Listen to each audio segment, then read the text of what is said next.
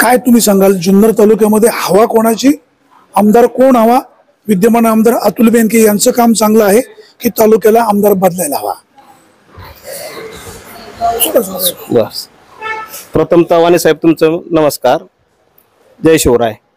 आता तुम्ही विचारलं ठीक आहे आमदार हवा कोणाची? आम्ही अतुल शेटच्या कामावरती समाधानी आहोत. म्हणजे आमच्या गावावरती कामाचा त्यांचा तडाखा आहे आणि कामही त्यांनी आमच्या गावात भरपूर केली. आणि आम्हाला पण बुवा हवा म्हणजे त्यांची कामाच्या बद्दल तर आम्ही नाराजी नाही. आणि आता सगळं शेवटी पक्ष आहेत सगळ्या इकडे तिकडे काय होणार आहेत पण त्यांच्या कामावर समाधानीच आहो. आणि इथून पुढे पण तेच हवे आहेत एवढंच आमचं मला एक सांगा बेनके साहेबांवर पवार साहेबांचे एक कायमस्वरूपी पगडा राहिलेला आहे. पवार साहेबांना त्यांनी तसं जरी काका पुतणे वेगळे झाले पवार कुटुंबाला सोडलेलं नाही परंतु जुन्नरकरांना असं वाटतं की बेनके साहेबांनी पवार साहेबांना सोडायला नको होतं. काही प्रमाणात लोक बोलून दाखवतात. शरद पवारांना सोडल्याचा फटका अतुल शेटला बसेल का? अतुल शेटने जे सोडलं पवार साहेबांना काही सोडलं नाही. त्यांनी ज्याचा बुवा तालुक्याच्या विकासासाठी तालुक्याच्या विकासाला निधीचा कोणापासून आपल्याला हे होईल. एक तालुक्याच्यासाठी त्यांनी त्यांचा स्वार्थ काय त्याच्यामध्ये जाणला नाही. म्हणून त्यांनी बुवा अजित पवारांकडे जाऊन आपल्याला बुवा कुठेतरी तालुक्याला निधीचा उपलब्ध होईल म्हणून त्यांनी अजितदादांची साथ केली. किंवा पवार साहेबांवरती नाराजी नाही किंवा पवार साहेबांनी त्यांचं काही खटकलं असा काही विषय नाही आहे माजी आमदार शरद सोनवणे म्हणतायत तालुक्याला आळशी आमदार लाभला. अतुल बेनके. आता तो शेवटी त्याच्या त्याच्याचा प्रश्न असतो. आपण काय भाऊ कोणावरती टीका करणं ते म्हणले ते खरं का सोनवणे खोटं बोलतात? खोटे बोलतात किंवा खरं बोलतात? हा काय नाही असं नाही. पा चर्चा स्पष्ट झाली पाहिजे. शरद सोनवणे काय म्हणाले त्यांचं त्यांना लक लाभो. त्यांचं म्हणणं तुम्हाला खरं वाटतं का खोटं वाटतं? खरं खोटं कसं होतं? शेवटी त्यांनी काय पडताळला असेल तो त्यांना त्यांचा तुम्हाला काय वाटतं? नाही ना असं तर मला तर वाटत नाही म्हणजे. आळस आहे किंवा नाही आहे पण तो शेवटी त्यांनी काय शरद सोनवणेंनी तालुक्याच्या आमदारांना अशा पद्धतीने बदनाम करायला नको? बदनामचा विषय कसा असतो? शेवटी त्यांनी पडताळला असेल त्याच्यात काय बोलले असेल तो तो त्यांचा ते विषय असं म्हणाले जुन्नर तालुक्याला अतुल बेनके एक आळशी आमदार लाभला.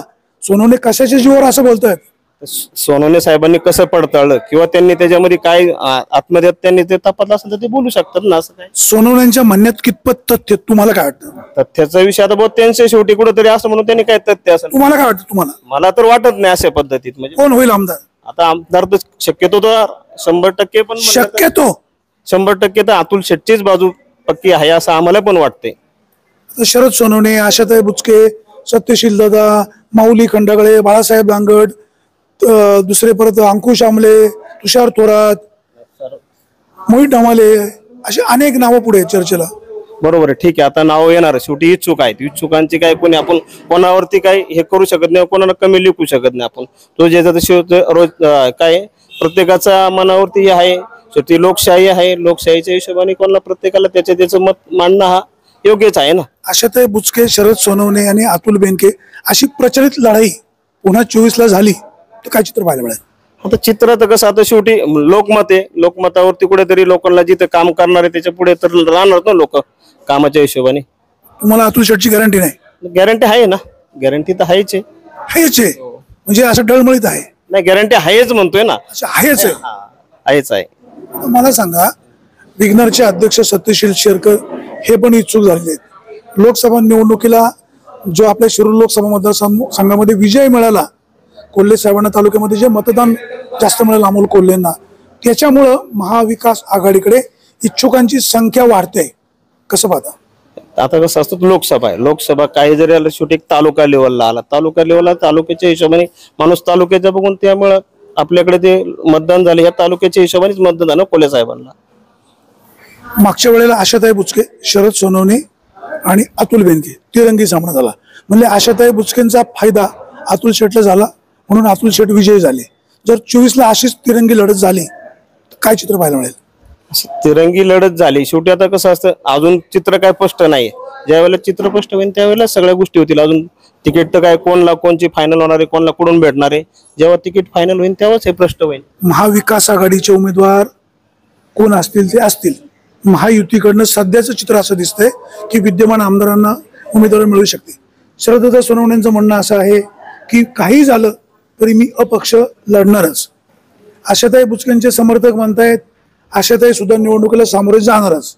आता कुठला पक्ष अपक्ष काय असेल ते होईल. जर पुन्हा तिरंगी लढत झाली तर आशाताईंचा तुम्हाला फायदा होईल शरदत्ताला होईल की आशाताईच आमदार होतील असं आता शेवटी लोकशाही आहे. लोकशाहीच्या हिशोबाने शेवटी प्रत्येकाला प्रत्येकाचं मत मागणं हे प्रमुख प्राप्त व्हायचे त्याच्यामुळं मतदानात कोणी कोणाचा हे करल प्रचारावरती कोणाला कोणा बोलवून कर करायचे तसा हा विषय तुमचा. कॉन्फिडन्स एवढा लूज कसा? लूज कसा म्हणजे कॉन्फिडन्स लूज तर नाहीच पण आमचा शेवटी काय वैयक्तिक माझ्या मतावरती कुठल्या गोष्टी येणार नाहीत. शेवटी लोकशाही आहे. लोक प्रत्येकाला प्रत्येकाचं मत मांडणं प्रत्येकाला मताचा अधिकार आहे. त्या मताप्रमाणे सगळं होणार आहे. तुमचा कुसूर गावाचा कल कसा राहील? आमच्या कुसूर गावाचा कमीत कमी जवळ जवळजवळ तर ऐंशी टक्के तर अतुल शेठ बरोबर राहीलच असा आमचा पण एक आत्मविश्वास आहेच आहे. तुमचे शेजारी संतोष वाघ बसलेले आहेत. ते मगाशी असं म्हणाले जर जुन्नर तालुक्याला कामाचा माणूस निवडून द्यायचा असेल तर शरद सोनवणे पुन्हा आमदार झाले पाहिजेत बरोबर आहे ना. आता शेवटी ज्याच्या त्याच्या याचा प्रश्न असतो. शेवटी ते त्यांचं काम करतात आम्ही यांचं काम करतोय अशा आम्हाला आत्मविश्वास असेल त्यांना त्यांचा आत्मविश्वास आहेच आहे ना. असं काय आम्ही त्यांना डावलू शकत नाही ना. ते आम्हाला डावलू शकत. त्यांना आत्मविश्वास आहे तसा आम्हाला पण आत्मविश्वास आहे. पवार साहेबांना सोडल्याचा अतुल शेठला काही फटका बसेल? बसायला तर नाही पाहिजे ना. असं शंभर टक्के आम्हाला पण तो आत्मविश्वास असतो. शेवटी त्यांनी- लोकसभेला काय घडलं? लोकसभेला आता कसं शेवटी लोक लोकांची जी असे शेवटी काही जरी झालं लोकसभेला व तालुक्याचा माणूस तालुक्याच्या गोष्टी ह्या म्हणून तालुक्याने आपल्या थोडं भरभरून कोल्हे साहेबांना मतदान टाकलेलं आहे ना. विधानसभेला काय होईल? विधानसभेत आता हे चित- चित्र असंच होणार ना बघ किती तिरंगी लोकसभेसारखंच. तिरंगी होती चौरंगी होती का प- प- पंचरंगी होती. असा हा विषय पुढचा राहणारच आहे त्याच्यामध्ये. जुन्नरची जनता बदल करील की आहे त्या व्यक्तीला पुन्हा आमदार ठेवेल. जनता ही जनता ही निकालावरती हे देणार पण जनतेला पण कामाच्या हिशोबाने ते राहणारच आहे. कामाच्या हिशोबाने मग जनता त्याचा विचार करणारच आहे. जे काम करतायत व कामाच्या हिशोबाने त्यांची पण आत्महत्या कोण कोण काम करणार आहे? कोण संयमी आहे? कोण कसं आहे, ह्या हिशोबावरती लोक जनतेला स्वीकारणार ज्याला योग्य वाटतं ती जनता. महाविकास आघाडीकडने एक अर्धा डझनपेक्षा जास्त मंडळी इच्छुक आहेत. कुठला उमेदवार जनतेतला वाटतो? जनतेतले आता सर्व उमेदवार जनतेतलेच म्हणावं लागेल. आता आपण शरद लोकप्रियता. लोकप्रियता शरददादा जनतेतच आहेत. महाविकास आघाडीचा विषय चाललाय महाविकास आघाडीचा. महाविकास आघाडीचा आता विषय कसा आहे? आता अजून तर त्यांचे चित्र स्पष्ट होते. आता मोहित डम्माले पण आहेत. शेवटी अं, आपलं शेरकरचा पण आहेत. अजून तिकडे म- माऊली खंडागळ्यांचा आहे. आता त्यांच्यात चित्र अजून स्पष्ट होईल तेवढं ते तुमची पसंती कोणाला आमची पसंती आता शेवटी आम्ही काय पसंतीचा विषय करू शकत नाही ना त्यांच्या पसंतीमध्ये. तुमची पसंती कोणाला? नाही नाही पसंती आम्ही शक्य सांगू शकत नाही बुवा. तुमची पसंती कोणाला? आता पसंती त्याला आमच्या आज आजच्या याच्यात बुवा आम्ही आज अतुल शेटच्याच पसंती देणार ना.